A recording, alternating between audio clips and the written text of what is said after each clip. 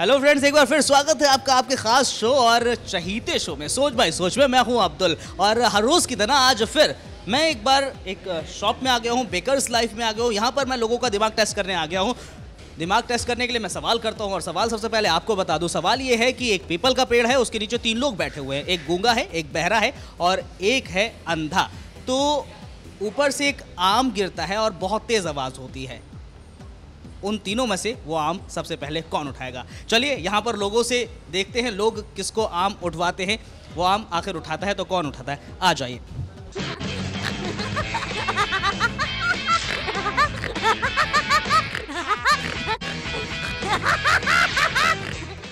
हिमांशु मैं यहाँ पर लोगों का दिमाग टेस्ट कर रहा हूँ एक्चुअली क्योंकि दिमाग हर किसी में होता है लेकिन यूज़ कुछ लोग कहते हैं। आप यूज़ करते हैं?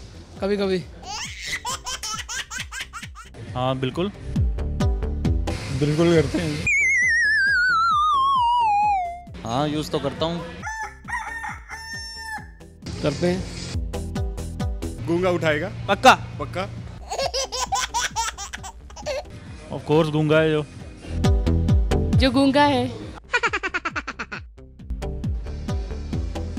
घूँगा ही उठाएगा। गिरेगा तो गूँगा उठाएगा। आम तो उसमें से आएगा ही नहीं। पीपल का पेड़ है पीपल के पेड़ से आम आम कैसे गिरेगा? पीपल पेड़ पे आम उगता ही नहीं। पीपल के पेड़ से आम नहीं आएगा। पीपल का पेड़ है तो आम कैसे गिरेगा?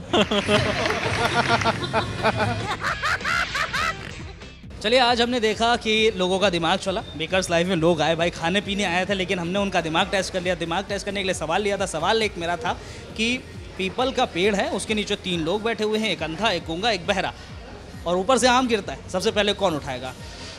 लोगों ने कहा, भाई, गूँगा उठाएगा क्योंकि वो सुनाई देता है उसको। लेकिन आपको बता दें, आपने पता चली क्या आपको?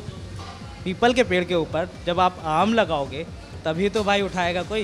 बिल्कुल, यानी कि पीपल के पेड़ के, पीपल के पेड़ में आम लग ही नहीं सकता तो उठाएगा कौन? आज इस सवाल का जवाब लोगों ने दिया, बहुत आराम से भी दिया और बहुत मज़ेदार दिया। चलिए, आज के एपिसोड में तो हमने आपको एंटरटेन करने की कोशिश की। एक और एक नया एपिसोड लेके आएँगे, एक नया सवाल लेके आएँगे। तब तक के लिए दीजिए मुझे इजाज़त। खुदा हाफिज़।